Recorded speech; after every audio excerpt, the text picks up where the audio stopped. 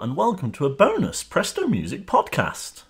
The character of Pierrot, the sad clown dressed in all white from the world of Commedia dell'arte, has been an inspiration for artists and musicians for centuries, from the Rococo painter Watteau of the 17th century through to 21st century icons like David Bowie.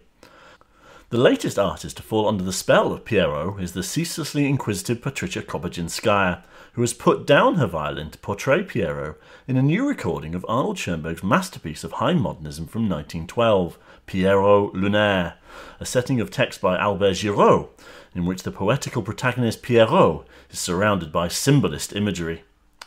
Patricia Kopatchinskaja was very kind to spare some time from her busy schedule to record answers to some questions I had about the recording and her ideas about and connection to the titular character.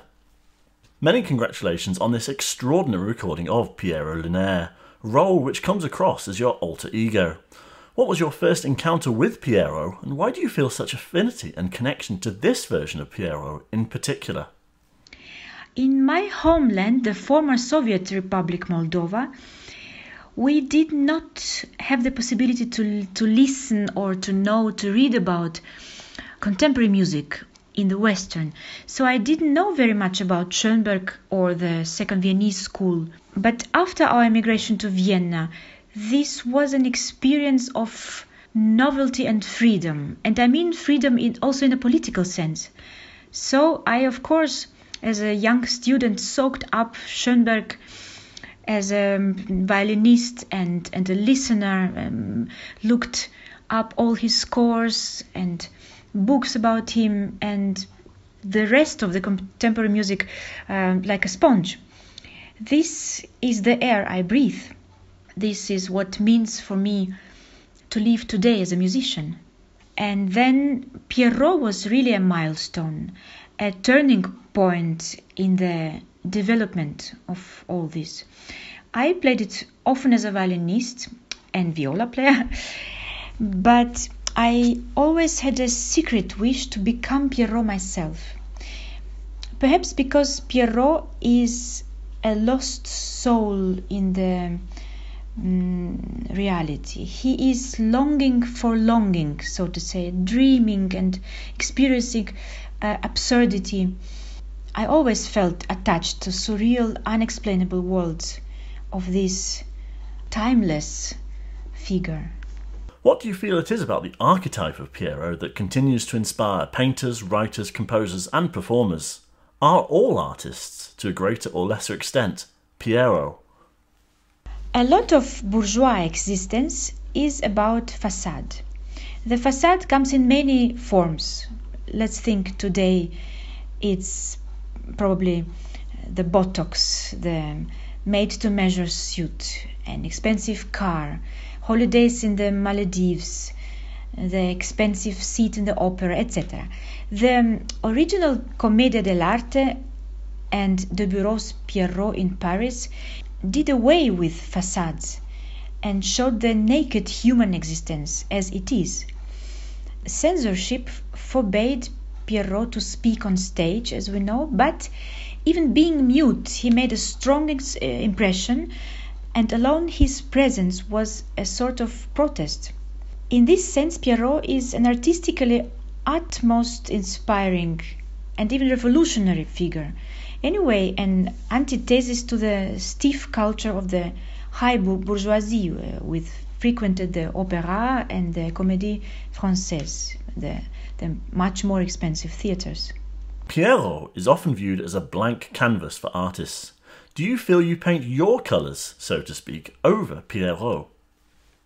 I don't paint anything over him. I just slip into his skin, becoming him, and then look through his eyes and fantasy and incredible stories he tells. And of course, speak through, his, through, through the music of Schoenberg.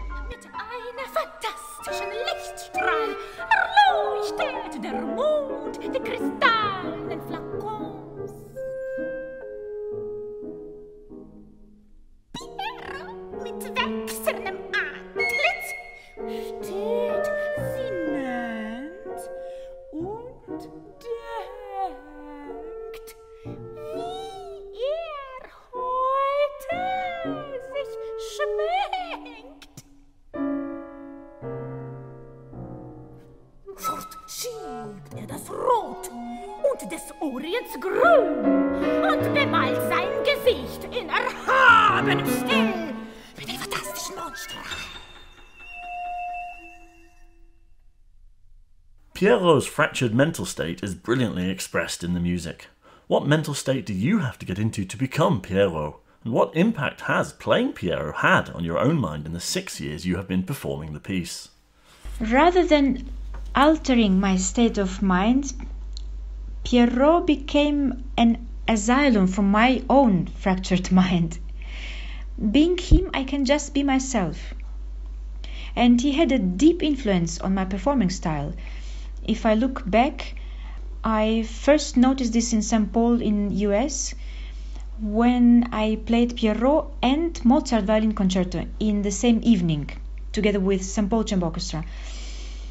Uh, it was a very strong experience for me because Mozart in this moment left any conventional paths that had still remained in me from the studies and became kind of opera buffa.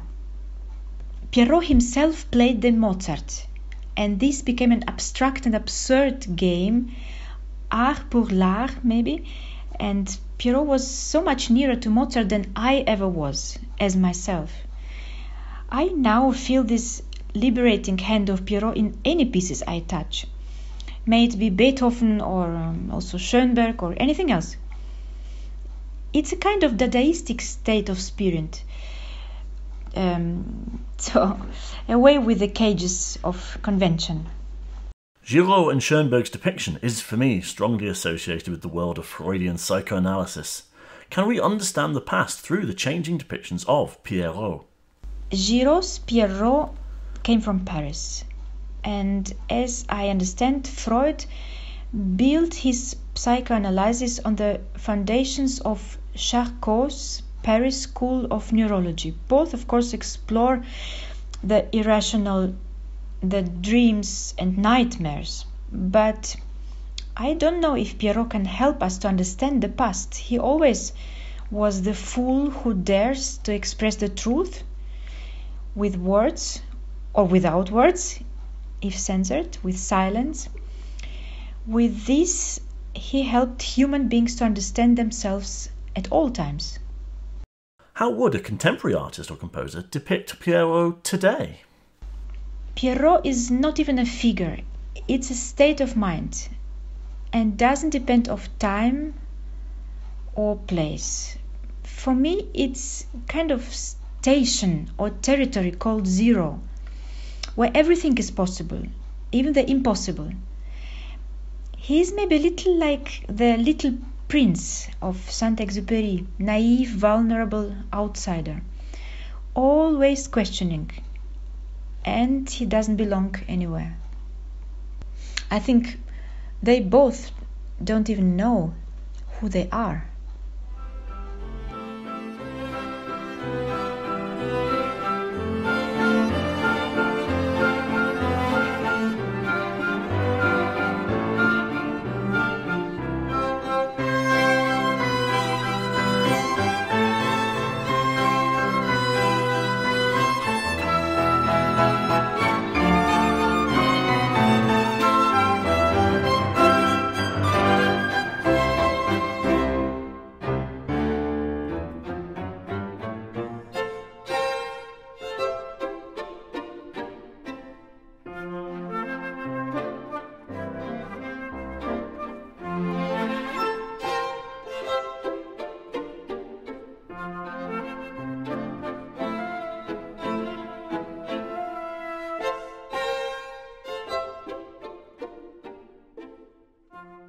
On this album, you've mixed modernist Schoenberg and Webern with the bourgeois Strauss and Kreisler.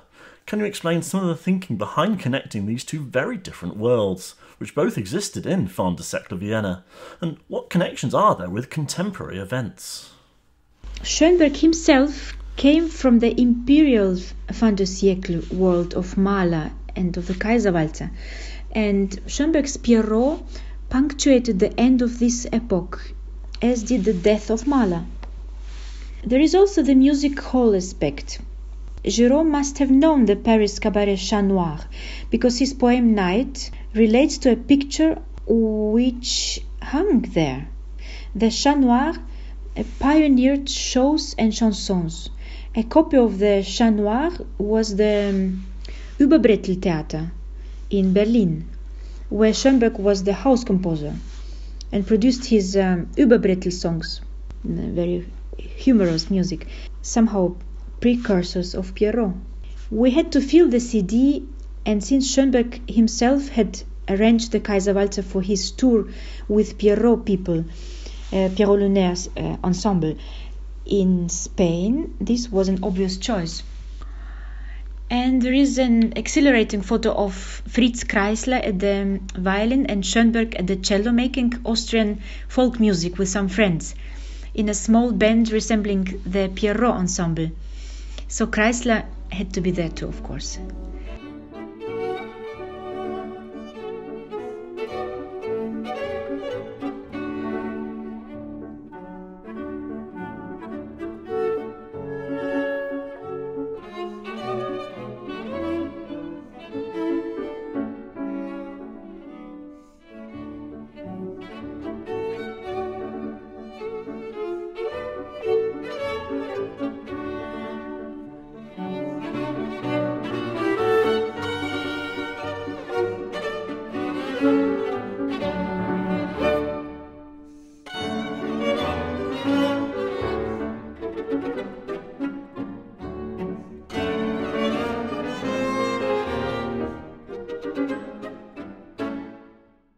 And I think there is an anecdote about Fritz Kreisler who uh, told Schönberg that he heard a piece of him and he liked it. And Schönberg told him, Oh, please don't tell it to anybody.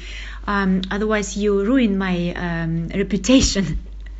so I think they belong on the same CD. And of course, in the poems of Giraud and the paintings of Willette, who decorated the Chat Noir, we feel the end of their epoch, even the menace of the coming First World War schwarze Riesenfalter. Of course, is the the the fear, the threat they see, and everybody felt it, of course, at that time. These parallels feelings about our own epoch, for instance, Greta Thunberg's mute protest before the Swedish parliament.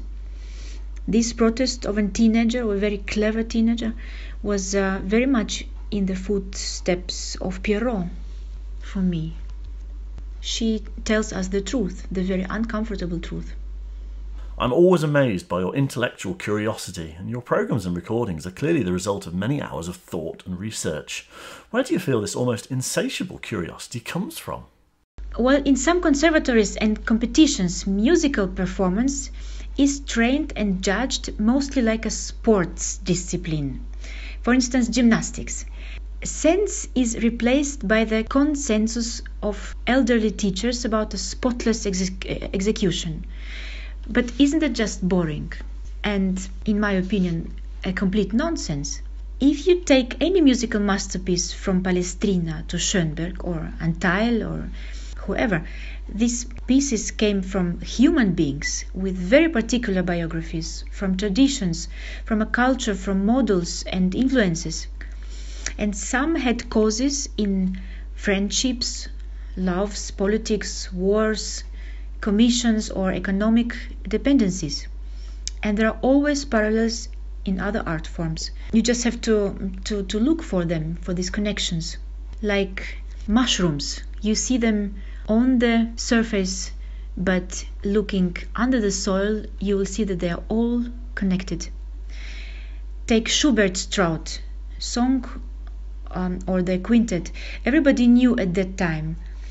This poem behind is a desperate parable for political freedom, Shostakovich's first violin concerto, a visceral description of the Stalinistic terror, a fact much more important than uh, bowings and fingerings. Or take m- much of Brahms' Johannes Brahms, which expresses um, delicate but uh, unfulfilled longings. But so often Brahms' delicacy is literally executed by, by self assured perfection fat sound and uh, huge vibrato, to feel the sense of a composition, you have to put yourself into the composer's time and mind, and then to reconstruct how the piece arose in his head. Where is the muse coming from? What is the the way through through his feather to the paper and what does he want to to say with this piece? That's the core of of the of the task what we have to put on stage what we have to transmit to the to the um, heart of the listener. And for this you cannot know enough. Only then can the piece happen in your head and in the minds of the audience. And this is not just another task but it's very entertaining and fun. We are lucky to live uh, 600 meters from the university library and the musicology institute. So from time to time we bring home a bicycle load of books and go through them not with the mind of a, of a musicologist but in a search of stories and sense. I think the most interesting thing is the the story behind the score not the notes themselves Fascinating. Well, thank you very much, Patricia, for taking the time to answer my questions. Your recording of Pierrot Lunaire continues your tradition of engaging with music in a completely fresh, inquisitive, and rewarding way, and I look forward to your next project with great anticipation, either with a violin or without. Patricia Kopatchinskaja's recording of Pierrot Lunaire, coupled with works by Webern, Strauss, and Kreisler, is available on Alpha Classics. Thank you very much, Patricia, and thanks to my producer, Matt Groom, and thanks to you for listening.